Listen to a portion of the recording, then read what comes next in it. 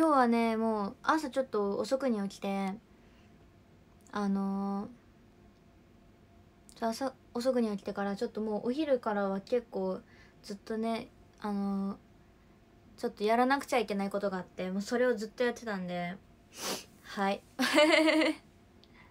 もはや必須点もうねうちのショールームではおなじみのさゆちゃんですよ。さゆちゃんっつったらちょっと浜ちゃんみたいになるな。まあさゆちゃんなんて呼んだことないんやけどね。大体浜ちゃん。さあ今日3月14日ね。特にホワイトデー関連でお話しすること全くないからうんちょっと別の話をしよう。何の話をしよう？え？別の話をしようからの何の話をしようはわけがわからん。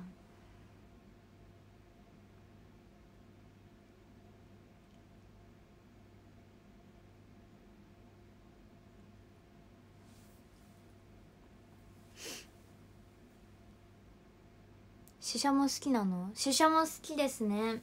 そう。お魚の中だと結構上位ですシシャモは。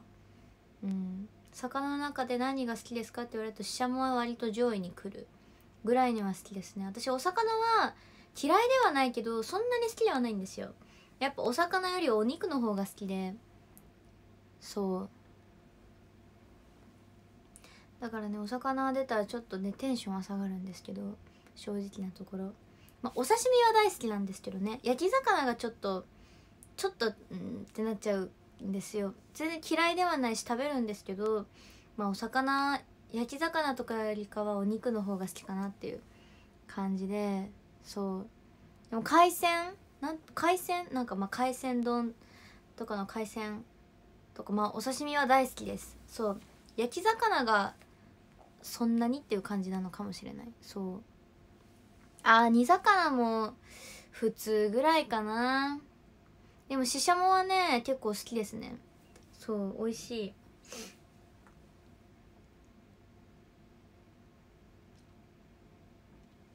い。すっごい鼻かゆい。めっちゃ鼻かゆいな。北海道で海鮮丼食べてみたい？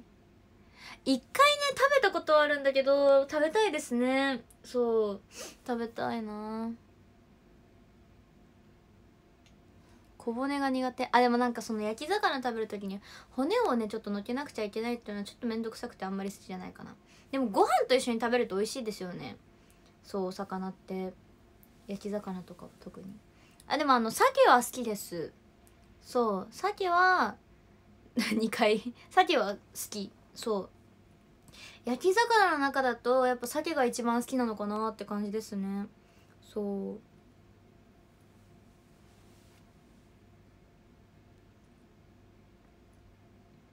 ししゃもさんの歌は歌はまあまあ聞きます。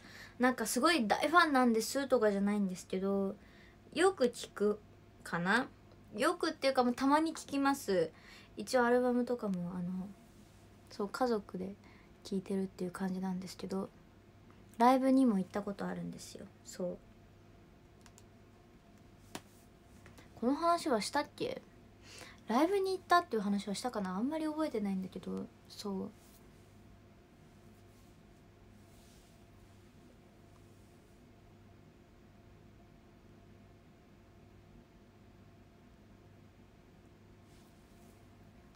そうあの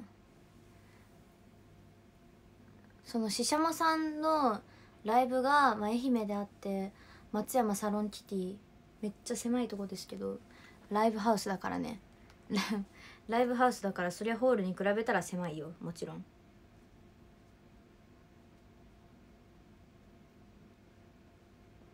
そこにあのー、私とまあ私と、まあ、家族で行ったんですよ。そのししゃもさんのライブに。そう松山サロン機器に行って。めっちゃ楽しかったです。うん。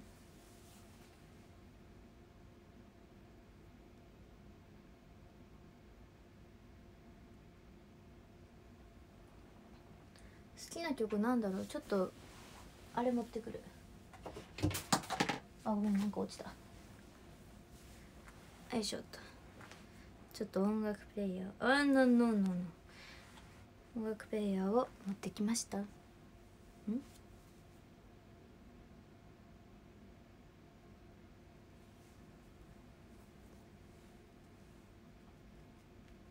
何人ぐらい来てた？多分サロンキティいっぱいには来てましたね。そう。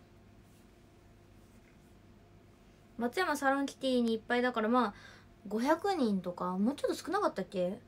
松山サロンキティのキャパが分かんないんだよね私。まあでもそんなぎゅうぎゅうとかではなかったんですけど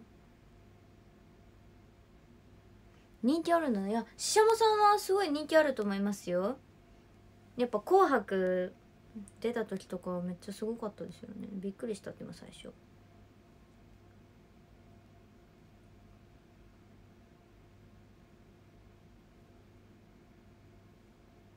ちょ音間違って音かかんないようにイヤホンしとこう。で私もなぜかつける。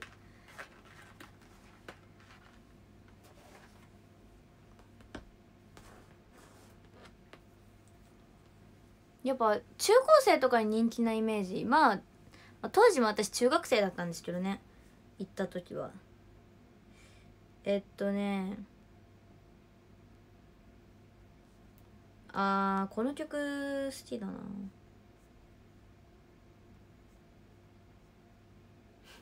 普通に聴いてしまう。ちゃうねん。これじゃないな。これじゃなくこっちこっち。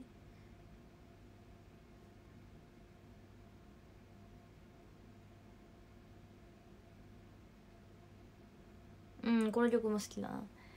えっとね君に告白した理由と君と話せないのはっていうのが特に好きかなって思っよく聞くかな。そのシシャムさんの中では。量産型彼氏もよく聞くけど、まあ、特にすごいよく聞くなっていうのはさっき言った「君に告白した理由と君と話せないのは」ですかね。そうだね。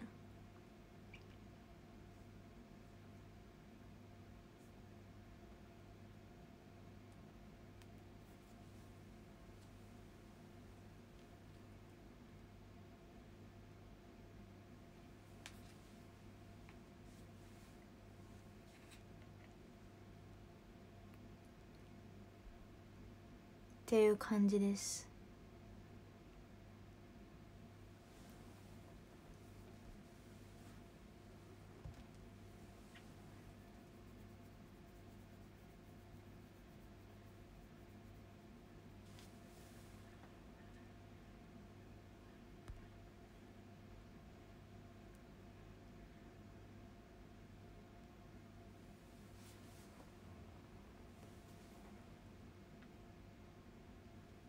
まあでもそのなんかもうめっちゃ聞くんですっていうことではないけどたまに聞きますねししゃもさんは。そう。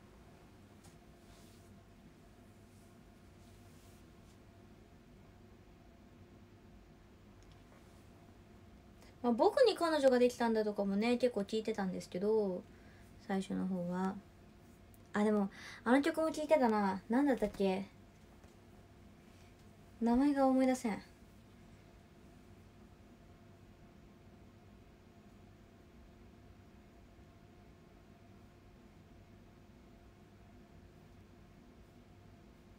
あ行きたくないもまあまあ聞くかな。そう。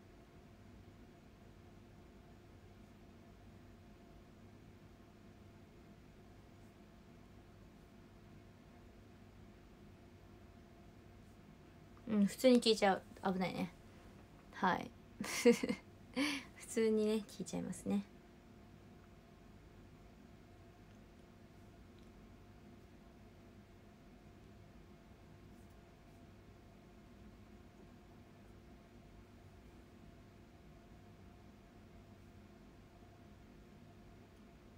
そんな感じかな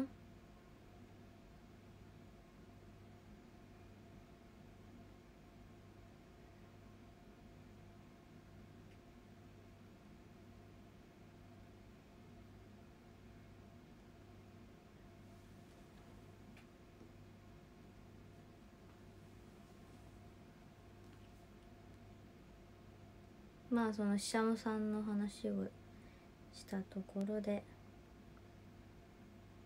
次は何の話をしようかな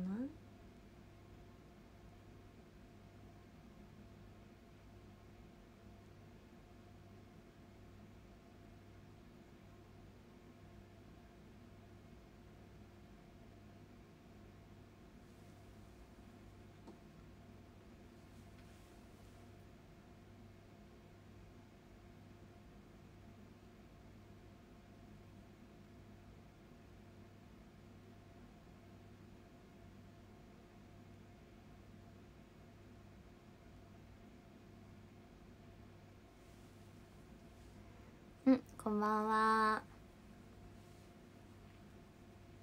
やばい何の話しようかな。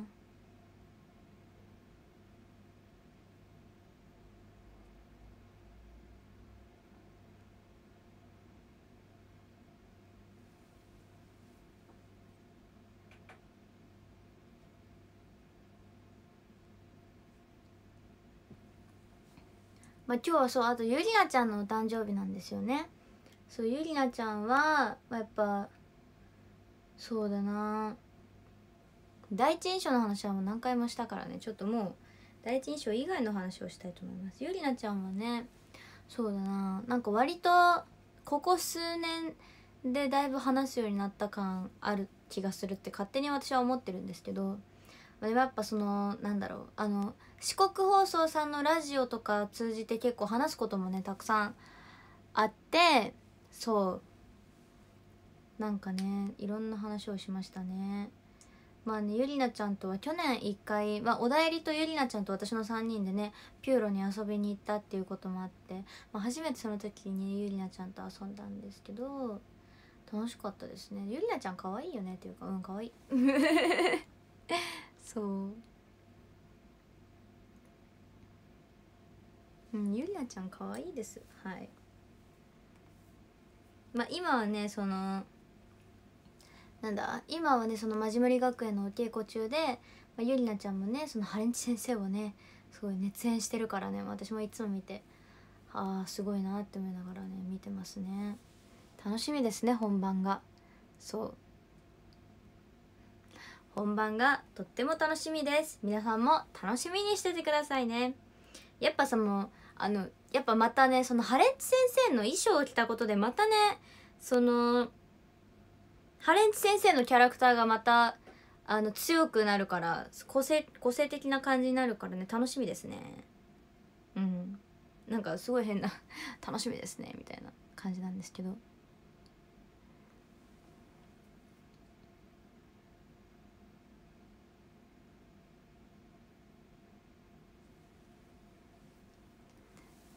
そして春の新作アニメもう発表されてんの？あーでもやっぱシャーマンキングかな？まず思い浮かぶのはあれ4月からだよね確か。うんシャーマンキングはちょっと楽しみですね。あとシャーマンキングあのオープニング？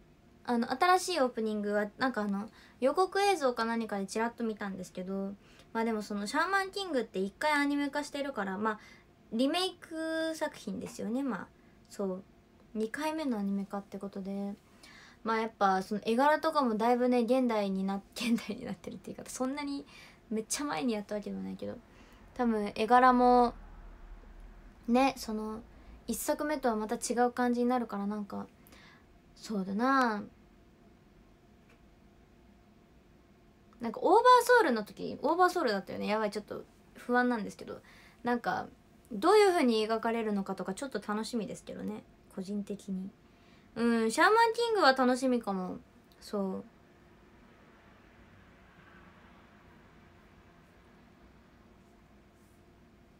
あと何があるんだろう。私全然知らないんだよね。全然新作アニメを追わない人間なんで。てか今私ワンダーエッグプライオリティ全く見れてないんですよ。そうモルモルカーとワンダーエッグプライオリティを全く見れてない人間で。ちょっとねだいぶ溜まってて。やばいなって思ってます。そう「ワンダイクプライオリティ」2話まで2話3話とかで止まってるからさ今多分10話までいってるのかな？もう終わるかな？分かんないけど。割とねそうなんか毎週更新なんかあのそろそろ左右飲めるわ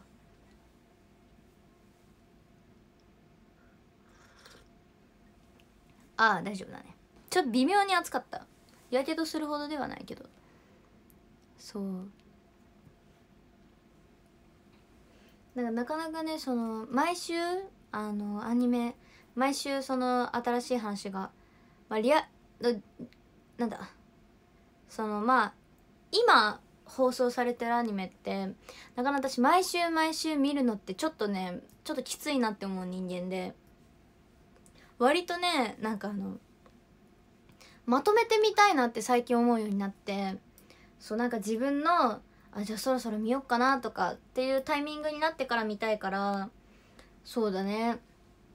全然見れてないですね。なんかもうもうね終わってるアニメとかだったらさもう全然まあ見たい時に、まあ、毎日1話とかでも見れるからあれなんですけどなかなかねそのリアルタイムでやってるやつとかはそうだねちょっと見るのに時間かかっちゃうかな。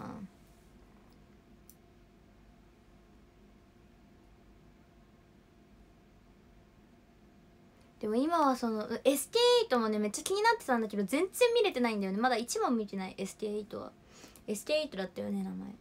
そうだからちょっと今ワンダイグプライオリティとモルカーがちょっと溜まっていってる状態です。はい。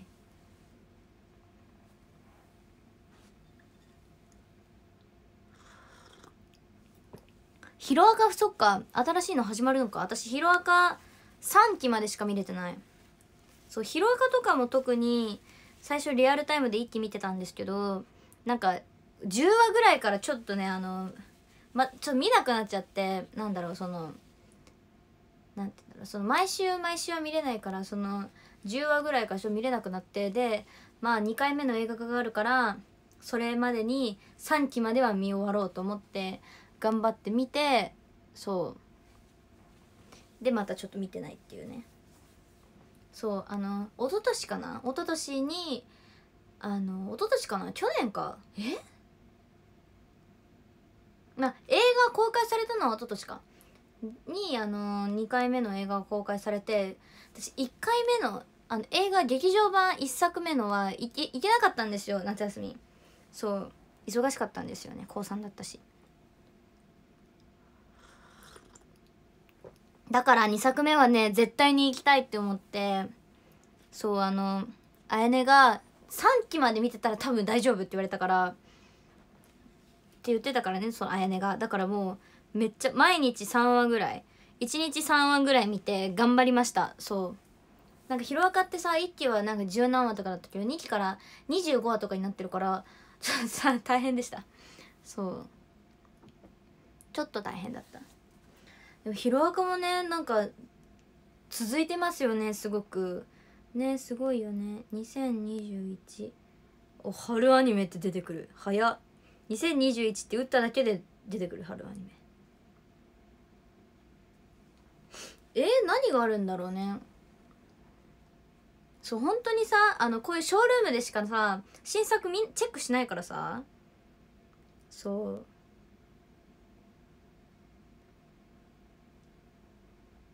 はんはんめっちゃ悪くない？あーそっか妖怪ウォッチも新作あるのか。アイスクリーム。何これ？アイスが食べたくなるかもしれないアイドルランドプリパラ。はあはあ。青い羽見つけた。キャストとか未発表なんだ。青い羽見つけた？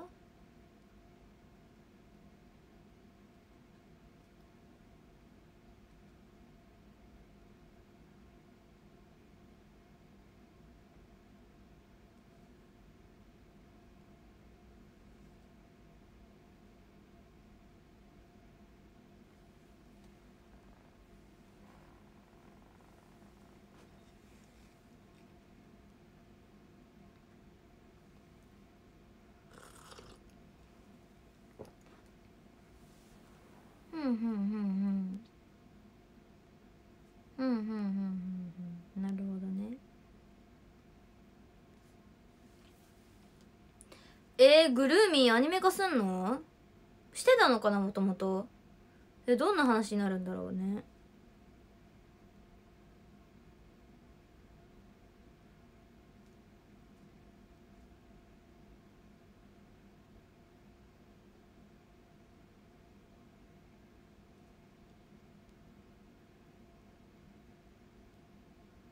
うんうんうんうん。あでもネットフリックスとかもあるのか。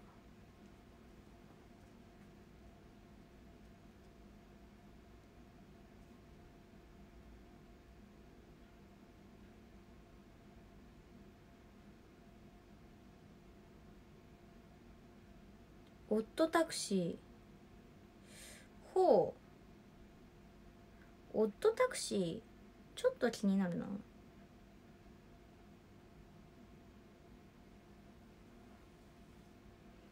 あキングダムやるんだ。うん。ん？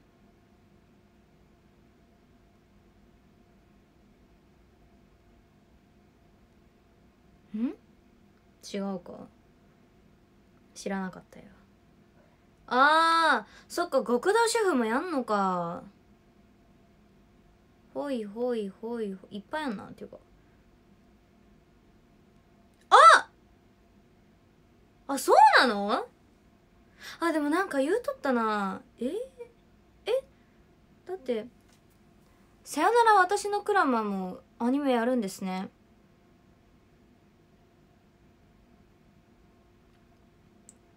あのー、そうあ叱る猫もやるんだ。でシャーマンキングやな。そうね。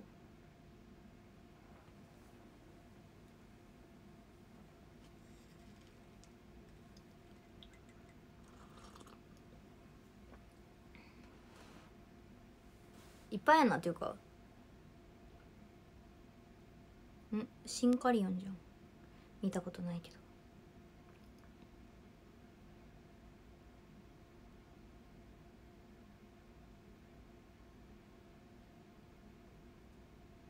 めっちゃ悪くない？そんなもん新作アニメって。めっちゃあんな。やべえ。でもそんなもんか。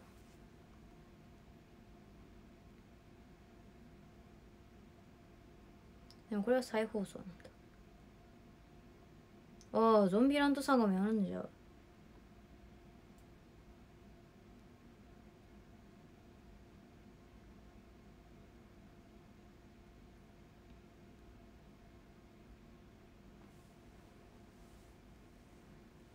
よかった。あの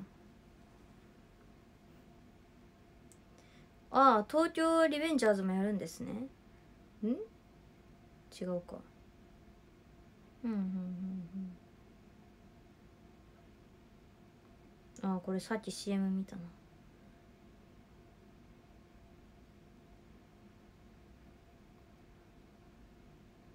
はいちょっとありすぎて途中で諦めましたね。いっぱいあるね新作アニメ。まあ見るかどうかはちょっとあれですけどね。でもオットタクシーだったっけ？ちょっと名前忘れたんですけどそれは気になるな。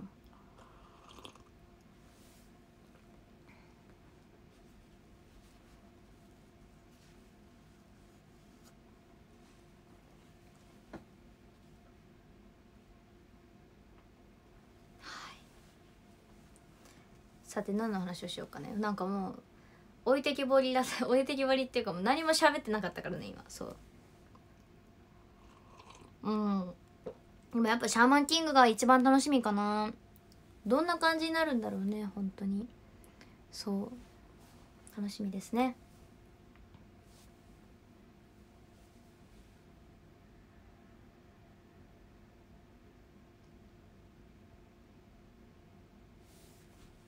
かゆ。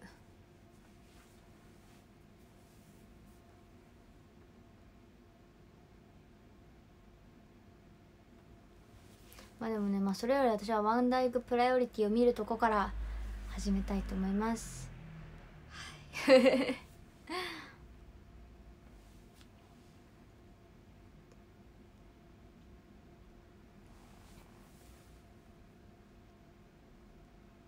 グルーミーってどんな作品なの？なんかね私のイメージグルーミー私知らないんですよ。あのストーリーとかあるのかは知らない。なんか言う言うなればそうだな。うーんグルーミーはねあのキャラクターなんですよ。そう。でお話とかあんのかな？私知らないんですけどねそれは。私自身はグルーミーがどんな話なのかはね正直知らない。そう。キャラは知ってるんですけどなんかお話があるのかが分かんないんだよね。そう。なんかそうだな、まあ、3X のキャラクターだったりとかサンリオのキャラクターみたいに何かしら絵本とかはあるのかもしれないけど、まあ、どっちかっていうとキャラの方がキャラキャラキャラのグッズがよく売られてるっていうような感じ。まあ 3X の方が近いのかなグルミーは。ちょっとわからないんですけどそうグルミーお話があるのかもわからないっていう感じです。そう。ジャンプ好きなのかな？うーんわかんない。なんか私はこの週刊誌が好きですとかこの月刊誌が好きですっていうのはあんまりないけどでもジャンプ作品好きなのは多いかなっていう感じです。うん。まあでも週刊誌あんま読まないけどね。もう単行本しか買わないからだし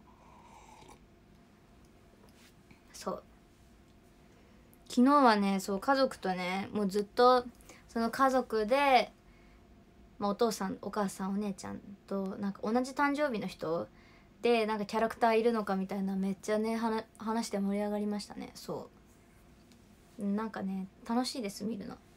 自分と同じ誕生日のキャラクターって誰がいるんだろうみたいにね調べるのがめっちゃ楽しいです。そう。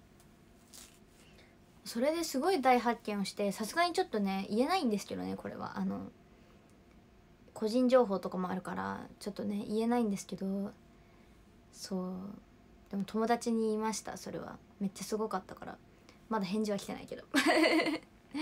はい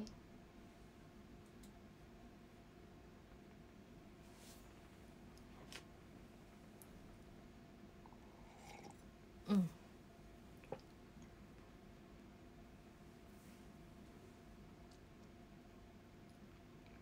まあ私もね自分の好きなキャラの誕生日って覚えてること覚えてない子っているんですよね。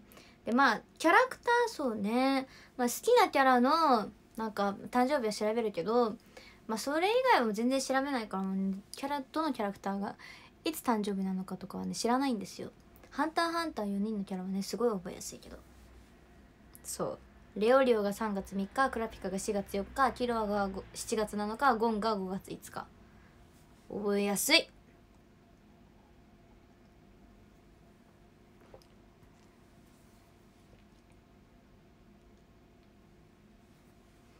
そうですね。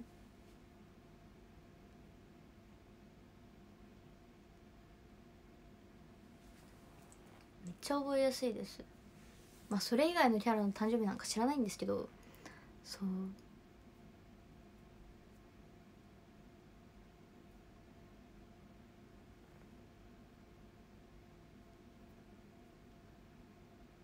うんでもいろいろ調べるね。誰々同じ誕生日じゃんみたいな。そう。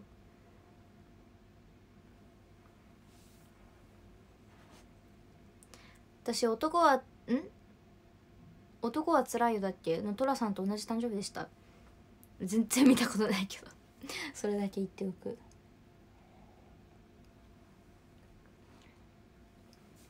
そう11月29日が誕生日らしいですよ。そう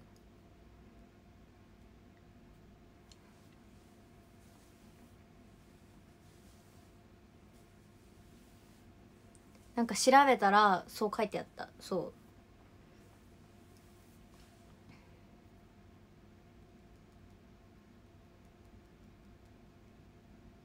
でもあんまりねその自分と同じ誕生日で知ってるキャラってそんなにいなかったかな。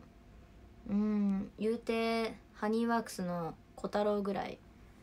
そう。あといたっけ？昨日調べたにもう忘れちゃった。早くね？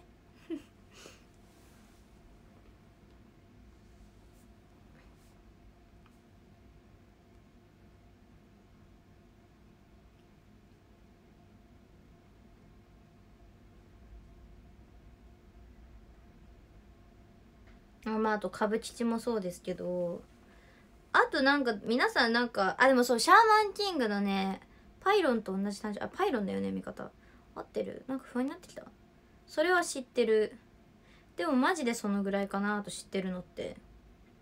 うん他見てないからな私。全然知らないんだよね。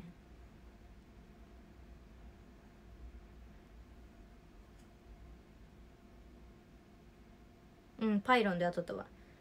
そうリパイロンと同じ誕生日私。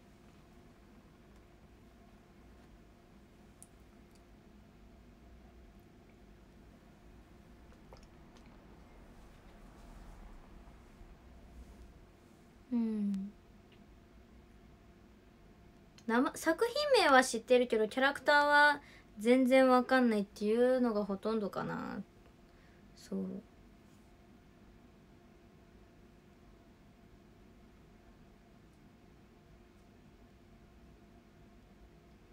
あとどうなんだろう。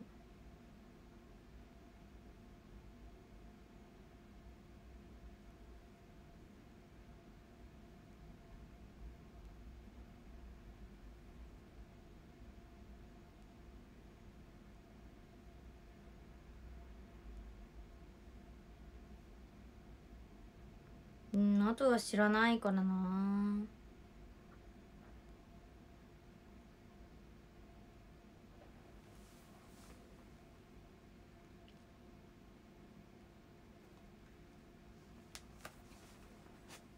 はい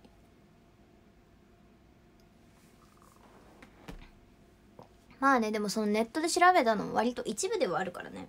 多分本当は他にももっと同じキャラクターはいると思うんですけど。そう。皆さんもね是非調べて20%になりました充電が。あここにあった。でもやっぱあれだよね。話の続きしますけど。なこの日付はやっぱ誕生日のキャラいないんだっていう日は絶対にありそうだよねっていう話を家族としました。はい。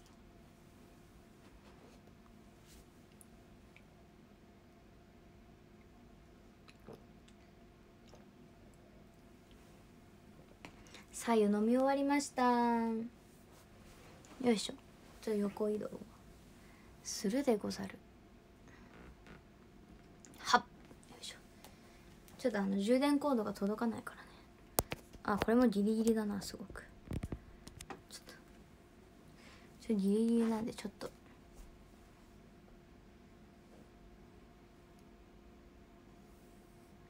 でもここね不安定なんだよねめっちゃ。もうちょっと寄せますよ。OK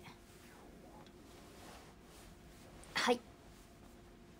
これで届く。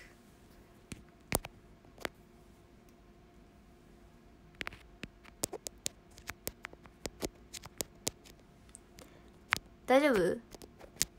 あよしよしよしよしよっしゃ。つながりました充電コード。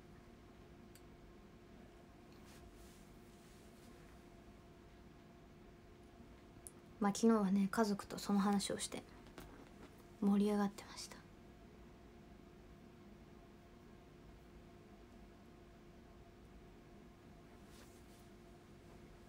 あさつまいも食べたくなってくるんですよね。美味しいよねさつまいもって。なんであんなに美味しいんだろうさつまいも。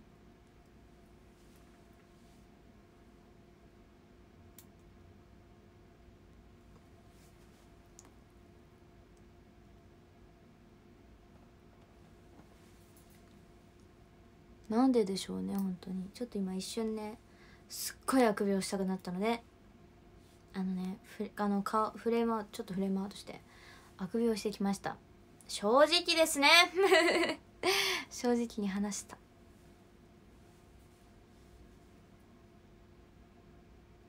でさつまいも美味しいよね。ちょっと大学芋がちょっと恋しくなるな。恋しくなるっていうかねそんなに食べないけど食べたくない。ではさつまいもの味噌汁好きなんですよね。そう。好き。あと芋けんぴ好きなんですよね。どんどん関係ない話になる。芋けんぴ久しぶりに食べたい芋けんぴってやっぱ美味しいじゃん。そう。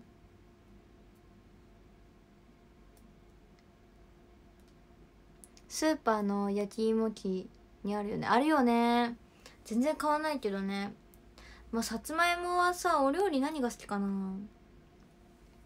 うんでもさつまいもの味噌汁とかさつまいもの天ぷらかなやっぱ。そう。そうさつまいもの天ぷらが好きであれですよね丸亀製麺のさつまいもの天ぷらめっちゃ美味しいですよね。あの柏天と同じぐらい好きです。そう柏天が多分天ぷらの中で一番好きなんですけど丸亀製麺の。なんかそれと同じぐらいさつまいもの天ぷらも好きですね。そう。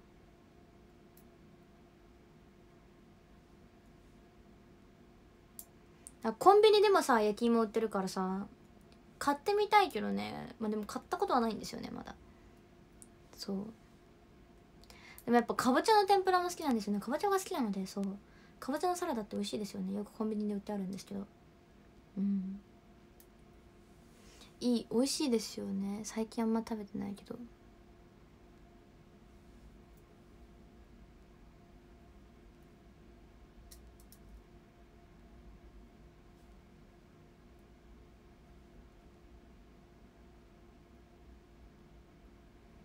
ね芋けんぴ食べたくなるわほんま。食べたいな芋けんぴ。お腹すいたあらご飯食べましたか？ちゃんと。私は食べました。かぼちゃの天ぷら絶品。わかる？めっちゃ美味しいですよね。マジ考えた人天才だと思うかぼちゃの天ぷら。鶏天もいいよねマジで。鶏天も好きなんですよ本当に。うん。大体いつもうちはちくわの天ぷらとか鶏天とかタラの天ぷらとかまあいろいろありますね。そう大体あのー、かぼちゃとなんださつまいももついてくるんですけどなぜ忘れた？あ天丼いいよね。なんかたまに食べたくなる天丼。美味しいよね。エビの天ぷらも美味しいですもんね本当に。そう。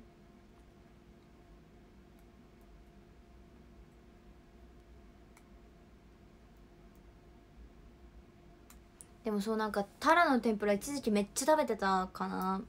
そうっていう思い出はあるかな。最近はね全然食べてないんですけど。天ぷらでもね食べたい。美味しいよね天ぷらって本当に。一回なんかあの出来たての天ぷら食べたいね。まあ家にいたら大体食べれるんですけど出来たての天ぷら気になるかな。そう。お腹鳴った？なんか食べた方がいいんじゃない？バナナとかあのあんまりなんかなんだろう。その夜に食べても、まあ、果物とか嫌いじゃなかったら食べてもいいと思うよ。いちご食べていちご好きなんだよねマジで。そうでも最近マンゴーも好き。ブルーベリーがマジで好きです。そうなんかいちごじゃなくてスイーツの中でもやっぱベリー系あのベリーが乗ってるあのそのブルーベリーとかストロベリーとか乗ってるやつのブルーベリーとかストロベリーのスイーツをねついついね食べちゃう。ついつい食べちゃうっていうかめっちゃ気になるんですよ。そうクランベリーもそうなんですけど。あれクランベリーだったよね。この前なんかクランベリーが入ったパンがあって食べたらめっちゃ美味しかったです。クランベリーってあのクランベリークランベリー？あれ？ちょっとあの あれなんですけど。あバナナあった？よかった。食べた方がバナナはね多分全然食べても大丈夫だと思う。そうゼリーとか全然食べてもいいと思う。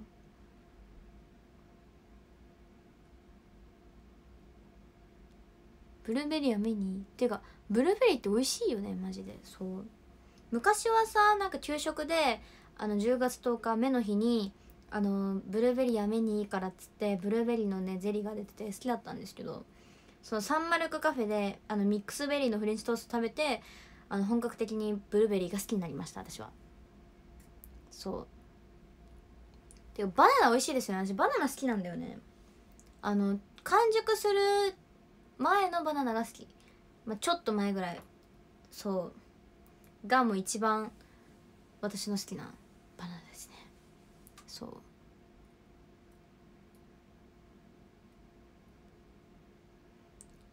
カオルありがとう。あどうもどうも。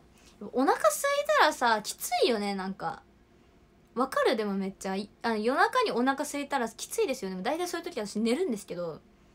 うんあんまりね夜中にご飯食べるとか何かしら食べるってことしないからとりあえず水飲んで寝るみたいな感じなんですけど。ねなんかあれですよね。サンマルクはまあなんか頻繁にはいかない。3ヶ月に1回ぐらいは全然行ってないけどねそう。3ヶ月に1回も行ってないかもしれないけどね。でもまあそのまあ、サンマルクカフェってまあチェーン店じゃないですか、まあ、チェーン店チェーンチェーンチェーンのカフェ、ま、スターバックスも私カフェだと思ってるんだけど勝手に。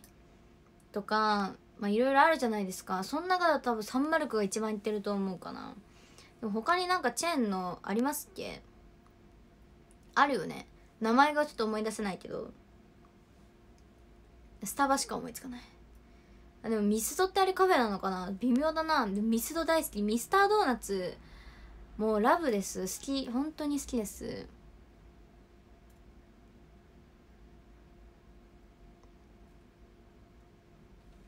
そう。でもあのミックスベリーのフレンチトーストってあんまり売ってないんですよね。売ってるお店が限られてるから、まあ、探すの大変本当に。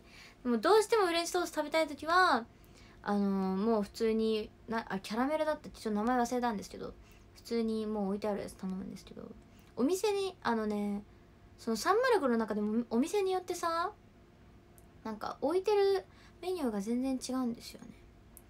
あなんかでもさつまいもで思い出したけど一回去年だったかなあのサンマルクカフェのチョコクロめっちゃ美味しいじゃないですか。あれでねそのあんだんだスイートポテト味のが出てそれがめっちゃ美味しかったなとかあとレモンレモンだったかなあれ。違う蜂蜜だ。あの蜂蜜？ハニーレモン？違うな。レモンじゃなかったんだよ。レモンがかかってレモンじゃないあのみ蜂蜜がかかってるやつ。塩蜂蜜だっけ？ちょっと忘れたんですけど今調べよう。めっちゃそれも美味しかったんですよね。それは友達と食べたんですけど。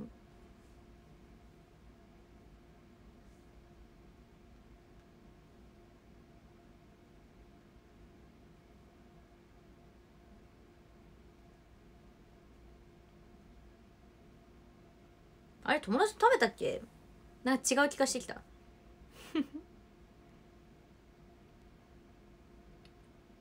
あでも合ってるわ。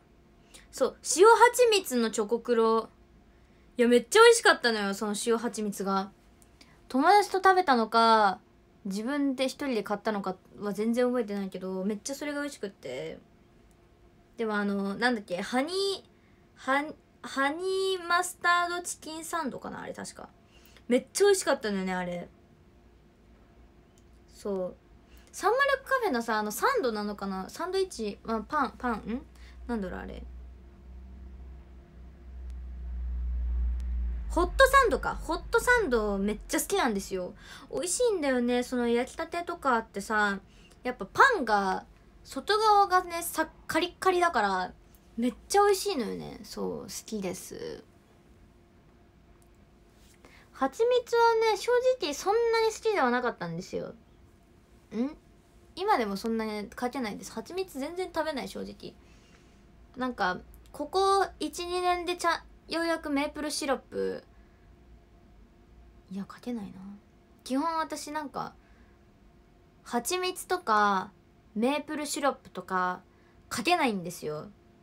昔はあんまり好きじゃなかった。これはもう食わず嫌いなんですけどそう。うん。だからもうホットケーキでさなんかバターだったりさかけるけど今でもそっか。今でも私ホットケーキには何もかけないんですよ。そう。